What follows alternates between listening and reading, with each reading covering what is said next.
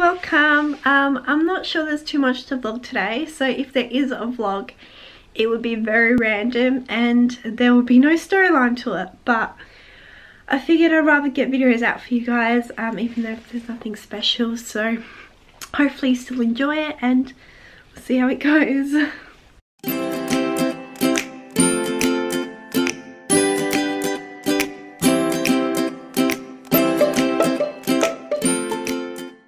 Now I've just done my first ever NutriBullet soup. I hope it turns out okay. I've just put lots of garden vegetables in there, a bit of pepper, a bit of herbs, um, some stock, vegetable stock, and hopefully it turns out okay. We'll see how it goes, I guess. Okay, here goes nothing.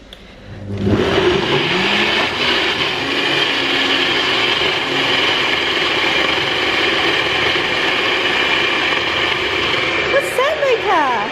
You don't like her.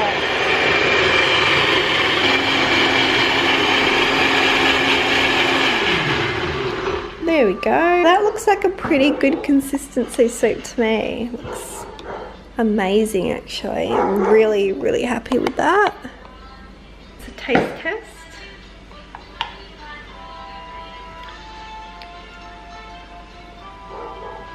That's actually really good. Bit of, just a pinch of salt, but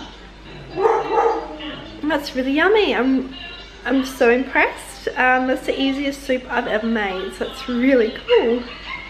Thanks, NutriBullet. this is not an advertisement, by the way. Um, it's just my first week having a NutriBullet, and I thought I would try all sorts of different stuff, and I'm absolutely loving it. It's probably the um, best kitchen appliance I've had so far. Hello, so it's a beautiful 20 degrees today and we figured it's probably the best day ever to clean the spa. Scott's gone to take Luca swimming, so it's just Daniella and I. And as you see, um, our spa is super dusty. Um, I think the cover itself definitely needs a clean. And Scott's actually already drained the spa, so most of the work's done for us. Yeah, Um, there's still some water. there's always going to be water pooling up in the bottom, which is a pain to clean. Um, and then we're going to chamois it up, getting it nice and nice and sparkly. yeah, Um, pretty much so we can have a nice clean spa to use in the spring.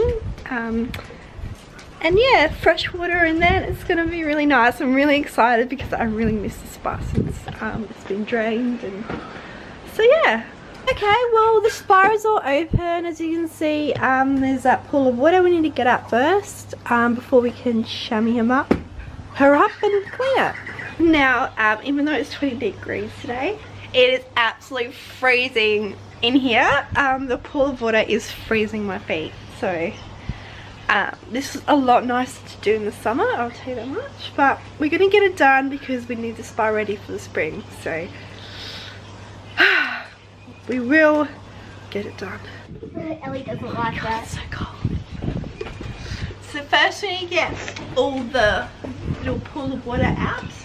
Um, probably the hardest bit is to get the last bit of water that's stuck in the spa out. It's probably what takes the longest about cleaning the spa.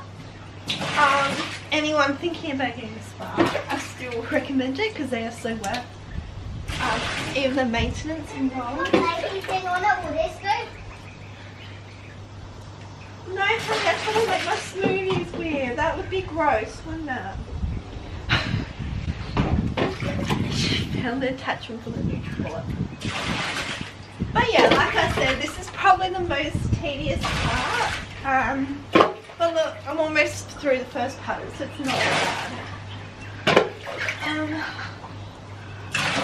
the hardest part is um, because I'm doing this in spring and my, I'm sorry, I'm doing it in winter and my feet are freezing. So, This one or this?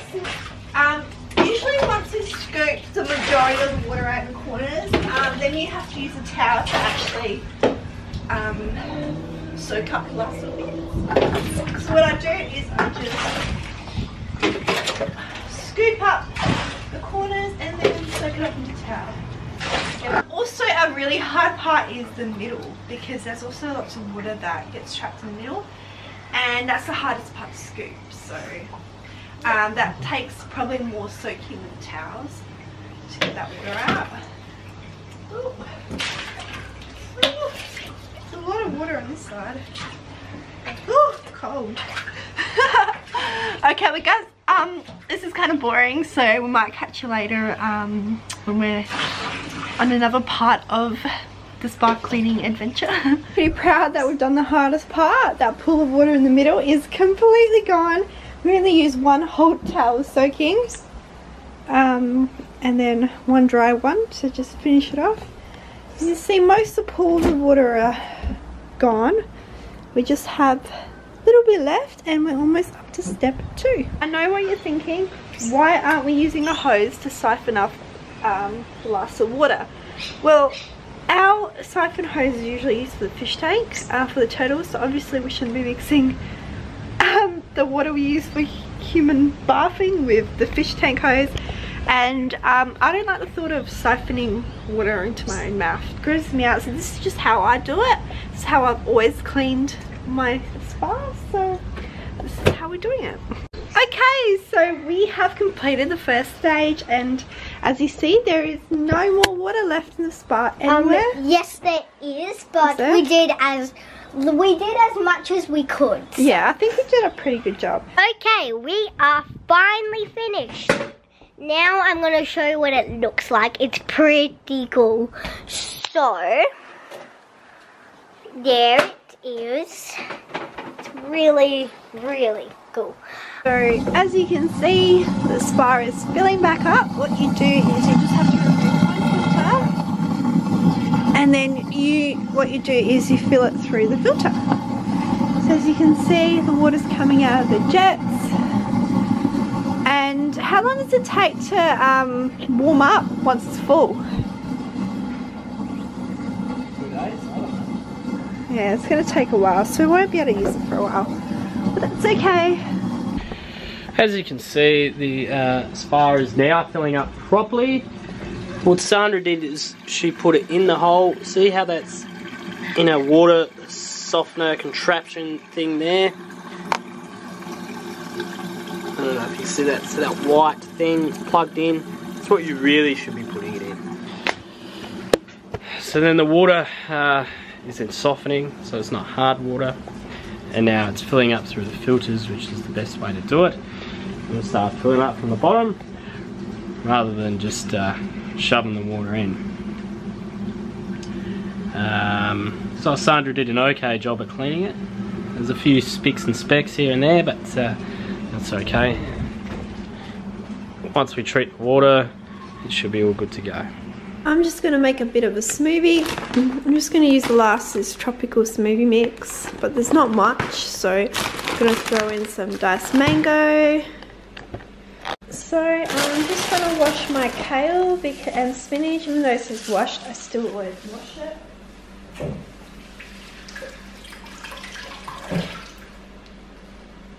Actually, oh, I should put the coconut water in first. What the hell is this? Cocoa latte? I bought cocoa latte instead. See that? This is why you should read before you buy something. So it turns out I have bought four cocoa lattes instead of cocoa water. Let me taste it. And it tastes disgusting. So I might go return them. Um, I can't return this one because I've already opened it. Um, but I'm going to take my receipt and return the other three and swap it for coconut water. So that was really, really stupid. So I'm just going to use um, just fresh water, pure tap water instead. Wash some more kale because I've thrown out the other one because it tastes like crap. Half a banana. I'm to add some nuts. I'm just using my mixed nuts. too many. I don't actually like the taste of nuts, but it's good for me. I'm just going to add some more water to the fill line, like he recommends. Let's see if it's any good. Oh, yum. That's amazing. I really don't know how I got this wrong because this is what I got last time. It obviously looks like water. Normal water. And this is what I got four of this time. So it's very obviously um, not just normal water. This is why you should not shop with a very distracting 15 month old that just wants to run around and not sit in the um, trolley. But that doesn't explain why I didn't notice until I put in. So that was really silly of me. Cocoa latte. Lovely. Thanks so much for watching again guys. If you want to see more videos, don't forget to hit the big red subscribe button down the bottom and we'll see you next time. Bye!